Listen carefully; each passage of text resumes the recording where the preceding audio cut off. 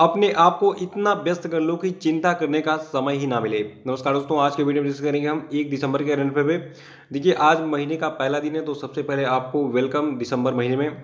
और देखिए, आज की वीडियो में हम total 11 most important current affair चर्चा करेंगे और साथ में इनसे जुड़े जितने भी स्पेशल फैक्ट हैं, उन पर पूरे डिटेल में चर्चा करेंगे। और देखिए, इस वीडियो के लास्ट में आपसे पाँच क्वेश्चन रिपीट जाएँगे तो आपको इन पाँचों प्रश्नों के जवाब देने तो शुरू से लास्ट तक वीडियो में बने रहिए और इस वीडियो को पूरा देखने बाद आप इसकी पीडीएफ फ़ाइल भी डाउनलोड कर सकते हैं। नीचे डिस्क्रिप्शन बॉक्स में आपको इस वीडियो के पीडीएफ लिंक मिल जाएगी। और देखिए, अगर आप इस चैनल पर नए तो चैनल को भी सब्सक्राइब करके बेल आइकन प्रेस कर दीजिएगा, ताकि आपको आने वाले सभी वीडियोस के नोटिफिकेशन ऑटोमेटिक मिल जाए और वीडियो को लाइक और शेयर भी कर दीजिएगा। और वीडियो को शुरू करने से पहले आपको इन्फॉर्मेशन दे दो। देखिए, जो आपका नवंबर का महीना था तो नवंबर महीने के आखिरी सप्ताह का वीकली करेंट अफेयर का वीडियो अपलोड हो चुका है और उसकी पीडीएफ भी उसमें आपको मिल जाएगी। तो उस वीडियो को ज़रूर देख डालिएगा और उसमें देखिए, उसमें एक सुविधा ये भी होती है कि आप उससे उसके माध्यम से अपना टेस्ट दे सकते हैं। आप जो है सप्ताह में आपने कितना सीखा, इसका मूल्यांकन कर सकते हैं। तो वीकली करेंट अफेयर का वीडियो ज़रूर देखा कीजिए और सारे प्रश्नों का उत्तर कमेंट बॉक्स में दिया कीजिए। देखिए, पहला प्रश्न आज का है कि सबसे तेज बाईस हज़ार अंतर्राष्ट्रीय रन बनाने वाले पहले खिलाड़ी कौन बन गए हैं? तो देखिए, ये क्रिकेटर आपके हैं विराट कोहली। ये बाईस हज़ार अंतर्राष्ट्रीय रन बनाने वाले पहले क्रिकेटर बन गए हैं। देखिए, इनसे पहले भी जो है कई लोगों ने बाईस हज़ार अंतर्राष्ट्रीय रन बनाए हैं, लेकिन सबसे तेज़ी से विराट कोहली के नाम से ये रिकॉर्ड बना है क्योंकि इन्होंने केवल और केवल जो है चार पारी में अपने जो है इस मुकाम को हासिल किया है। देखिए, इससे पहले सचिन तेंदुलकर ने भी बाईस हज़ार रन बनाए थे, लेकिन इन्होंने चार सौ तिरानवे पारी में जो है ये बाईस हज़ार रन कंप्लीट किए थे। लेकिन इसके मुकाबले जो आपके विराट कोहली ने अपने जो है चार पारी में इस गोल को पूरा किया है, यानी कि बाईस हज़ार रन पूरे किए हैं अपने। देखिए वर्तमान में जो आपके विराट कोहली हैं, ये सबसे तेज़ी से बाईस हज़ार रन अंतर्राष्ट्रीय रन बनाने वाले खिलाड़ी बने हैं। और अब दूसरे स्थान पर आपके सचिन तेंदुलकर आ गए हैं। और इसके बाद फिर आपका नाम आता है ब्रायन लारा का, ठीक है? ब्रायन लारा जो ये पाँच सौ ग्यारहवीं पारी में इन्होंने अपना बाईस हजारवा अंतर्राष्ट्रीय रन पूरा किया था। और रिकी पोंटिंग ने पाँच सौ चौदहवीं पारी में जो है, अपना बाईस हज़ार अंतर्राष्ट्रीय रन पूरा किया था।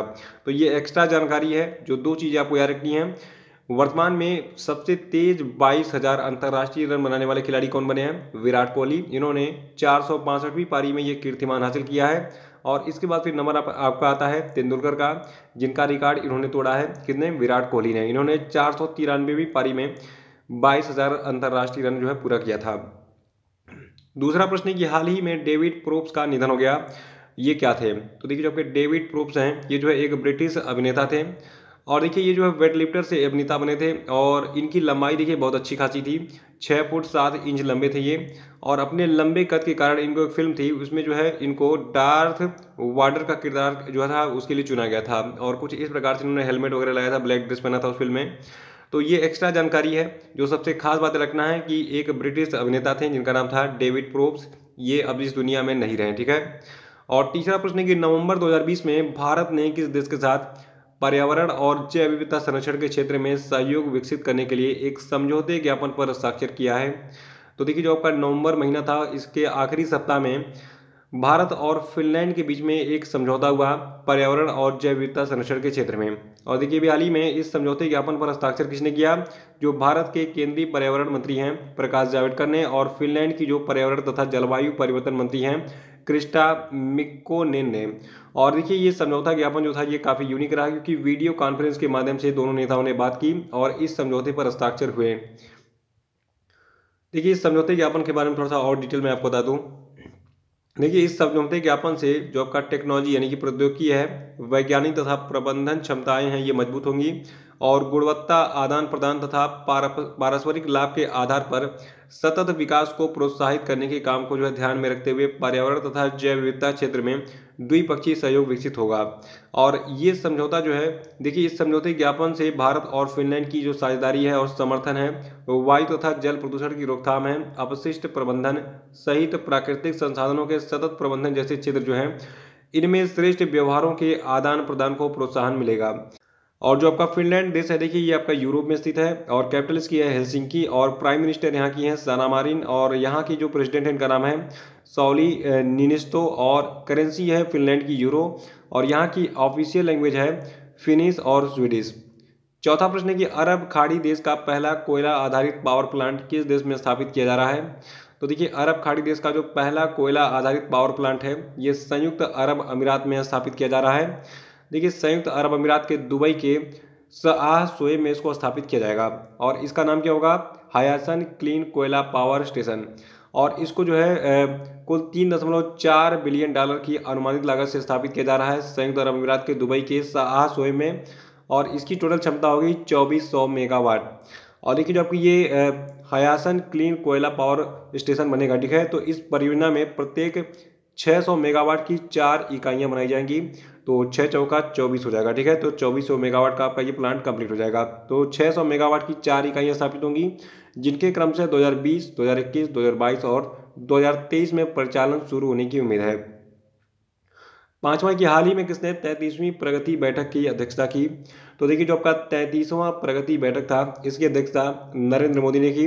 देखिए प्रगति का पूरा नाम है proactive governance and timely implementation यानी कि सक्रिय शासन, संचालन और समयबद्ध क्रियान्वयन। देखिए, आजकल एक ट्रेंड चल रहा है एग्ज़ाम में, किसी भी चीज़ का फुल फॉर्म पूछा जा रहा है। जैसे कि जितनी भी योजनाएँ हैं मोदी सरकार की, सबकी मतलब सबका फुल फॉर्म एग्ज़ाम में पूछा जा रहा है। तो यहाँ पे प्रगति की बात कर रहे हैं। प्रगति का पूरा नाम क्या है? Proactive governance and timely implementation और प्रगति क्या है? ये एक जो है आईसीटी आधारित बहु मॉडल प्लेटफॉर्म है और इस बैठक में 10 राज्यों और केंद्र शासित प्रदेशों से संबंधित कुल 1.41 लाख करोड़ रुपए की परियोजनाओं की समीक्षा की गई। और छठा प्रश्न है कि यूबीएस ने अपनी ग्लोबल इकोनॉमिक और मार्केट आउटलुक 2021-22 रिपोर्ट में वित्त वर्ष 2021 में भारत की वास्तविक जीडीपी कितना रहने का अनुमान जताया है? तो देखिए यूबीएस जो है इसने अभी अपने ग्लोबल इकोनॉमिक और मार्केट आउटलुक 2021-22 रिपोर्ट में बताया है कि वर्ष 2021 में जो भारत की वास्तविक जीडीपी रहेगी, ये रहेगी 10.5 परसेंट नेगेटिव में, ठीक है? यानी कि माइनस टेन परसेंट। देखिए जो आपका यूबीएस इसका ये भी कहना है कि वित्त वर्ष 2022 जो होगा अगला वाला, ठीक है? तो इसमें भारत की वास्तविक जीडीपी वृद्धि दर उभर कर 10 परसेंट की दर से ग्रोथ करेगी और इसके अलावा यूबीएस ने वित्त वर्ष 2023 में भारत की जीडीपी को 6.2 परसेंट की दर से जो है, स्थिर रहने का अनुमान जताया है। और सातवां प्रश्न कि हाल ही में किस बैंक ने पॉज टर्मिनल के लिए एसएमएस पे फीचर लॉन्च किया? तो देखिए, जो आपका पी ओ एस है, देखिए पी यू एस का पूरा नाम है पॉइंट ऑफ़ सेल ठीक है? तो जितने भी पॉइंट ऑफ़ सेल होते हैं, देखिए, आपने देखा होगा, जब आप वी मार्ट में जाते होंगे या फिर बिग बाज़ार में जाते होंगे या फिर किसी भी बड़े शॉपिंग मॉल में जाते होंगे तो आपको एक मशीन मिलता हो जिसपे आप कार्ड को स्वाइप करते होंगे और आपके पैसे कट जाते होंगे, आप पेमेंट कर देते हैं। तो इसी छोटे वाले मशीन को हम पी ओ एस मशीन कहते हैं, यानी कि पॉइंट ऑफ़ सेल मशीन कहते हैं। और इसी point point of sale terminal की बात हो रही है तो जितने भी पॉइंट ऑफ़ सेल टर्मिनल हैं, इनके लिए S M S pay feature launch किया अभी में एस बैंक ने। देखिए, आपको बताऊँ, जो आपका यस बैंक है, इसने इस नई सुविधा एस एम पे फीचर को शुरू करने के लिए फ्रेंच की भुगतान सेवा कंपनी वर्ल्ड लाइन के साथ साझेदारी की हाल में, और जो आपका यस बैंक है, इसके एमडी और सीईओ हैं प्रशांत कुमार, संस्थापक है राणा कपूर, स्थापना इसकी 2004 में हुई थी।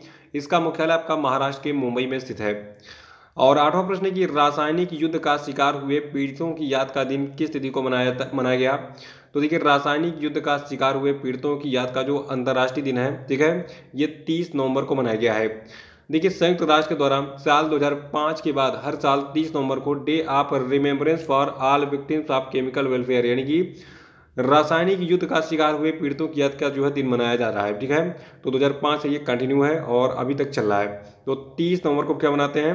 रासायनिक युद्ध का शिकार हुए पीड़ितों की याद का दिन। नवा प्रश्न है कि फिलिस्तीनी लोगों के साथ एकजुटता का अंतर्राष्ट्रीय दिवस किस तिथि को मनाया जाता है? तो देखिए, फिलिस्तीनी लोगों के साथ एकजुटता का जो अंतर्राष्ट्रीय दिवस है, ये 29 नवंबर को मनाया जाता है। देखिए, संयुक्त राष्ट्र के द्वारा हर साल 29 नवंबर को जो है international day of solitary with the फिलिस्तीनी पीपुल यानी कि फिलिस्तीनी लोगों के साथ एकजुटता का अंतर्राष्ट्रीय दिवस के रूप में मनाया जाता है। देखिए 29 नवंबर उन्नीस को महासभा, यानी कि संयुक्त राष्ट्र महासभा ने फिलिस्तीन के विभाजन के प्रस्ताव को अपनाया था। इसीलिए 29 नवंबर को ही मनाया था क्या? फिलिस्तीनी लोगों के साथ एकजुटता का अंतर्राष्ट्रीय दिवस।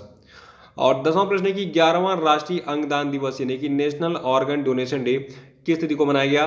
तो देखिए जो आपका ग्यारहवा राष्ट्रीय अंगदान दिवस है, ये सत्ताईस नवंबर को मनाया गया। देखिए सत्ताईस नवंबर का जो ये दिन है, ये स्वास्थ्य और परिवार कल्याण मंत्रालय के तहत national organ tissue transplant organisation के द्वारा आयोजित किया जाता है।